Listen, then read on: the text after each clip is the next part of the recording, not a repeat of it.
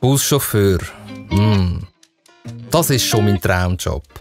Ein tolles Team, einen sicheren Arbeitsplatz, Menschen verbinden und natürlich etwas für die Umwelt machen. Aber eine Sache schießt mich jedes Mal richtig an. Wenn ich beim EVZ nicht live dabei sein kann.